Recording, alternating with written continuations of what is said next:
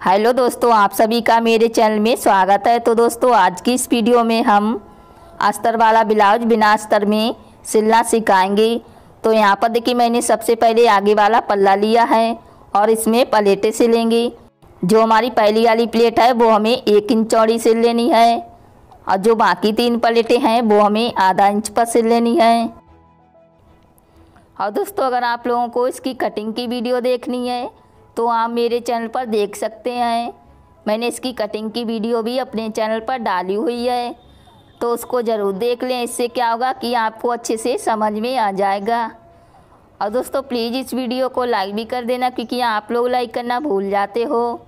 तो प्लीज़ इस वीडियो को लाइक ज़रूर कर देना।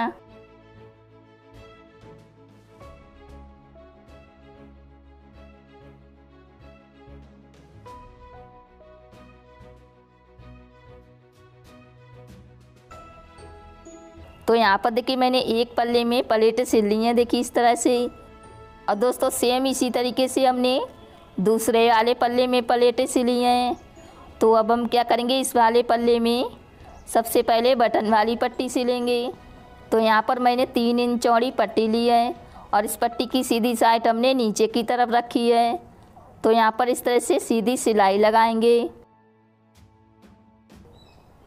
फिर हम क्या करेंगे? इस पट्टी को उल्टी तरफ़ से फोल्ड करेंगे। दो बार फोल्ड कर लेना है।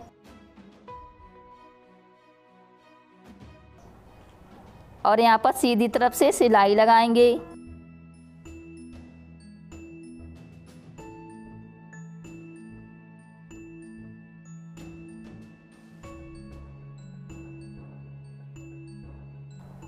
बची हुई पट्टी की सफ़ाई के साथ कटिंग करेंगे। तो यहाँ पर मैंने बटन वाली पट्टी को सिल लिया है। तो अब हम क्या करेंगे? दूसरे वाले पल्ले में काज वाली पट्टी सिलेंगे। काज वाली पट्टी की चौड़ाई हमारी दो या ढाई इंच चौड़ी होनी चाहिए। तो इस तरह से हमें पट्टी को रखना है और रखने के बाद एक सीधी सिलाई लगाएँगे। फिर हम एक दाब सिलाई लगाएँगे। तो यहाँ पर हमने दाब सिलाई लगा दी है। अब हम इस पट्टी को उल्टी तरफ़ से फोल्ड करेंगे और एक बिल्कुल किनारे पर सिलाई लगाएँगे।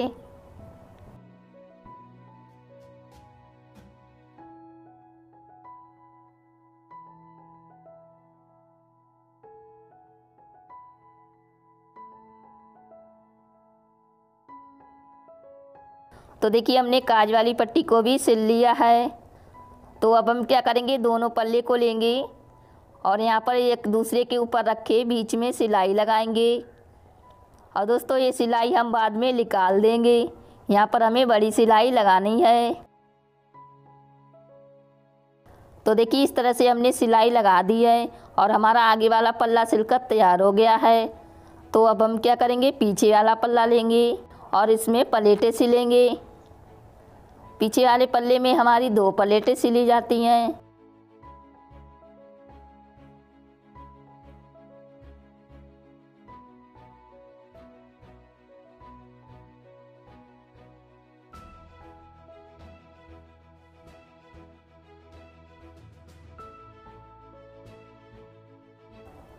तो यहाँ पर देखिए मैंने प्लेटें सिल ली हैं तो अब हम क्या करेंगे?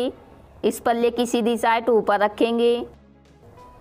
और जो हमारा आगे वाला पल्ला है, इसकी सीधी साइड हम नीचे रखेंगे और यहाँ पर आधा इंच का मार्जिन छोड़ के शोल्डर से लेंगे।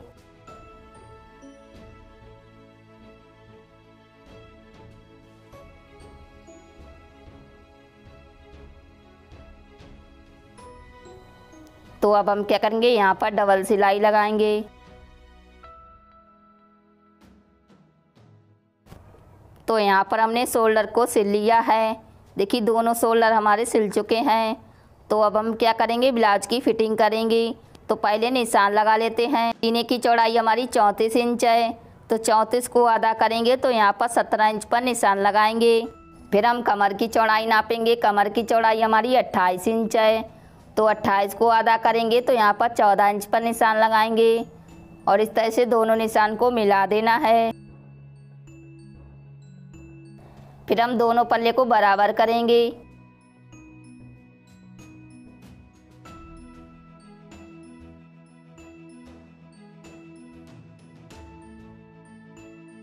और जहाँ पर हमारा निशान लगा हुआ है, उसी निशान के ऊपर हमें सिलाई लगानी है।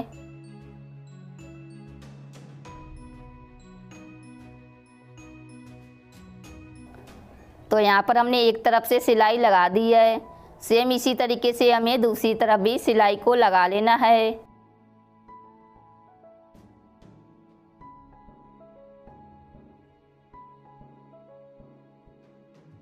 तो यहाँ पर हमने दूसरी तरफ़ भी सिलाई लगा दी है। अब हम दोनों तरफ़ से डबल सिलाई लगाएँगे। तो देखिए, इस तरह से हमने डबल सिलाई भी लगा दी है दोनों तरफ़ से। तो अब हम क्या करेंगे? साइड में कट लगाएँगे। कट लगाने से क्या होगा कि जो हमारे फुचने हैं वो नहीं निकलेंगे। तो यहाँ पर हमने दोनों तरफ़ से कट लगा दिए हैं। तो अब हम क्या करेंगे? जो हमने बीच में सिलाई लगाई थी, उसको निकाल देना है। और नीचे से फोल्ड करके सिलाई लगाएँगे। यहाँ पर हम सिलाई छोटी लगा रहे हैं। अगर आप तुरपाई करना चाहती हैं तो यहाँ पर आपको बड़ी सिलाई लगाना ज़रूरी है। तो इस तरह से नीचे से फोल्ड करके सिलाई को लगा लेते हैं।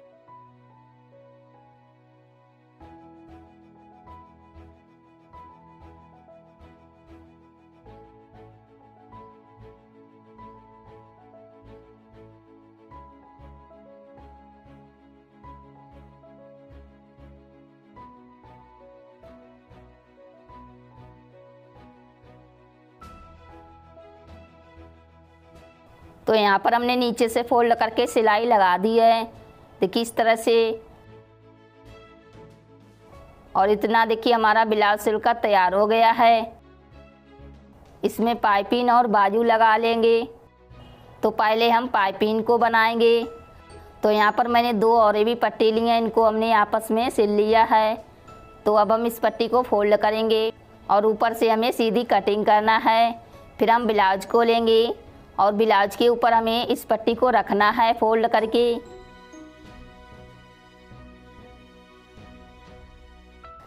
और रखने के बाद सिलाई लगाएँगे। तो पूरे गले में हमें इस और पट्टी को सिल लेना है। वैसे तो हम हर वीडियो में बताते हैं कि पाइपिंग को कैसे बनाते हैं।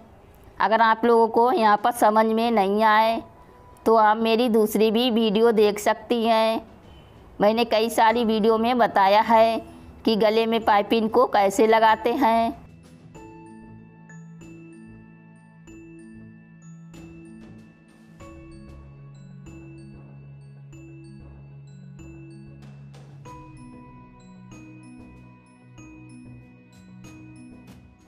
यहाँ पर हम बची हुई पट्टी की कटिंग करेंगे। तो हमने पट्टी को सिल लिया है तो अब हम क्या करेंगे?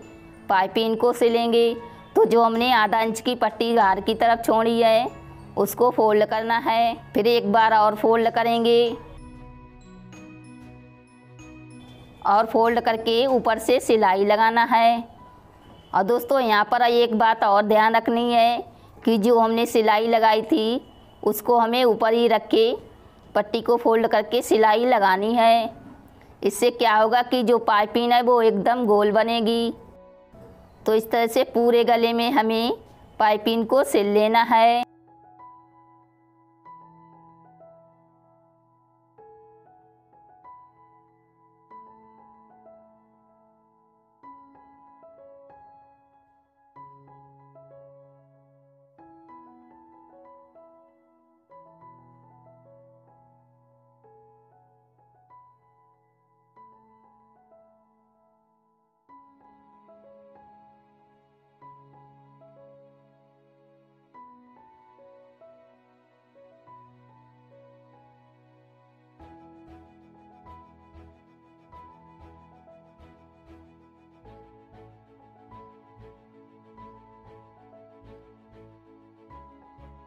तो देखिए, इस तरह से हमने पाइपिंग को सिल लिया है। देखिए, कितनी गोल पाइपिंग हमारी सिली है। तो इसी तरीके से आप भी पाइपिंग को सिल सकती हैं। बहुत ही सरल तरीके से हमने पाइपिंग को बनाना बताया है। तो अब हम क्या करेंगे? ब्लाउज में बाजू को सिलेंगे। तो यहाँ पर हमने सबसे पहले एक बाजू को लिया है और इसको नीचे से फोल्ड करके सिलाई लगाएँगे। जितना हमने मार्जिन लिया है उतना ही हमें फोल्ड करके सिलाई को लगा लेना है।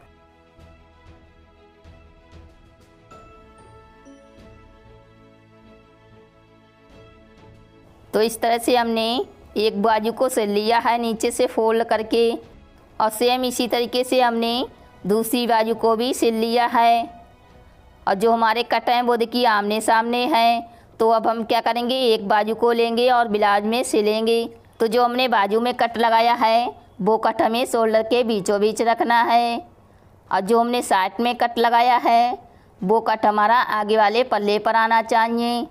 तो इस तरह से नाप के बाजू को सिल लेते हैं।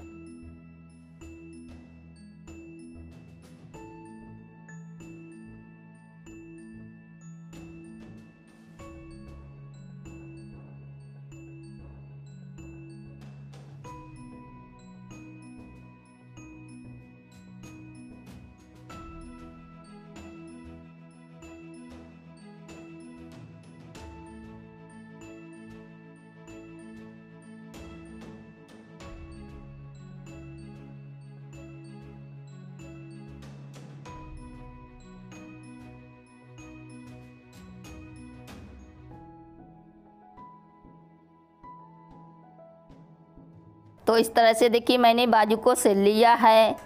तो अब हम क्या करेंगे? इसमें डबल सिलाई लगाएँगे। तो देखिए हमने डबल सिलाई भी लगा दी है। तो अब हम बाजू की फिटिंग करेंगे। बाजू की मोरी हमारी ग्यारह इंच है। तो ग्यारह को आधा करेंगे तो यहाँ पर साढ़े पाँच इंच पर हमें निशान लगाना है। जो हमने निशान लगाया है, उसी निशान के ऊपर हमें सिलाई लगानी है। और सिलाई हम डबल लगाएँगे।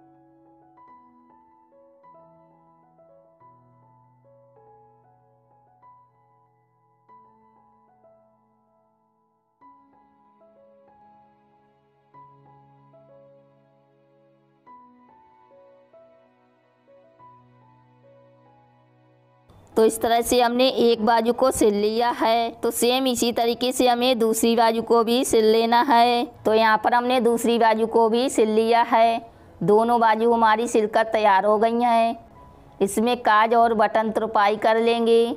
तो यहाँ पर हमने देखी काज और बटन तुरपाई कर लिया है। और इस तरह से हमने अस्तर वाला ब्लाउज बिना अस्तर में सिलकर दिखाया है। तो दोस्तों, उम्मीद करती हूँ कि ये वीडियो आपको ज़रूर पसंद आई होगी।